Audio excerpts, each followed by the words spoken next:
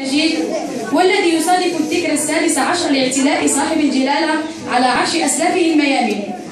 وبهذه المناسبة تتقدم جمعية رقادة بتقديم الولاء لمولانا أمير المؤمنين حفظه الله ورعاه. وأدام الله عزكم ونصركم. إذ نسأل الله تعالى العظيم أن يتم علينا كامل نعمه رقادة الجدد للتنمية والتواصل تنخر عباب البحر المنتظم بكل ثبات ورباطة جيش.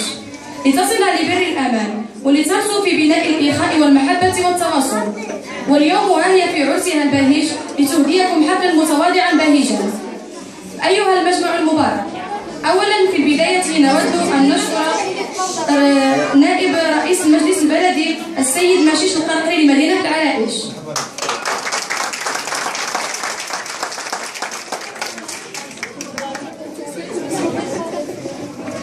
ونحيي كذلك جميع أعضاء مكتب الجمعية المغربية لإعانة لإعانة الأطفال المصابين بداء السكري.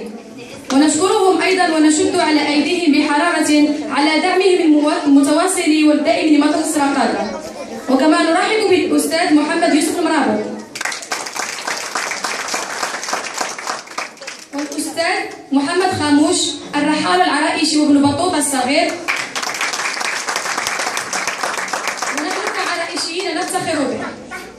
ونرحب أيضا بمنتخب الجماعات المحلية وكما نرحب بالأطر التربوية والتعليمية والذين لم يبخلوا بكل علم نافع وعلى دورهم الفعال في دور وتطوير المسيرة التعليمية.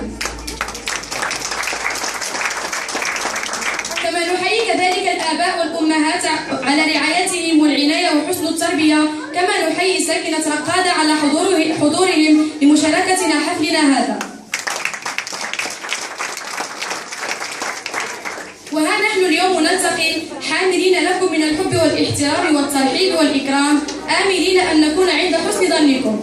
وإننا نهنئ جميع المتفوقين والمتفوقات فكانت النتيجة تفوقا وتكريما وفرحا وسرورا.